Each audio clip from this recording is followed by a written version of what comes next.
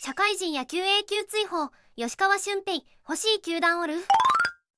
吉川俊平27歳2019 1A タス22試合5勝7敗3.75 2020 1A 登板なし非開催2021 1A9 試合0勝1敗8.72 2022アメリカ独立20試合7勝9敗5.51定27人中24位。欲しい？うんこの社会人追放されたやつがプロもするんやろ。これはあかんね。でも契約金含めてお金いっぱいもらえてるんやろ。永久追放って何したんや？二重契約や。アニオタなのが草。VTuber も好きなのが草。読売巨人軍が興味持ったようです。さすがに社会人から絶縁されとるやつには興味なんて持たないぞ。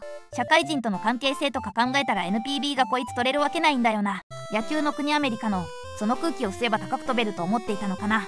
こいつドラフト1候補だったんはい。2位後半くらいの評価って感じ。オリックスのケイ鈴木とかが近い。去年なら横浜の吉野あたり。悪意より役に立つそう。元パナソニックやっけ。NPB は手出しにくいよな。手を出しにくいというかこの成績やとて出産やろ。学歴も甘いやし英語うまいならまだ第二の人生間に合うで。NPB ならドラフト上位確実だったのにもったいないことしたわなこういうのは日ハム。問題児はとりあえず日ハムだから。去年のドラフトで横浜が取るかもってキャッキャしてたけどこの成績見たらありえねえじゃん。モータザはルールもないのに時期でメジャー行くやつ全然現れなしたし自分でアンチ喜んでそうってツイートしたのにそれすら無視されててかわいそうやった。ご視聴ありがとうございました。コメントチャンネル登録よろしくお願いいたします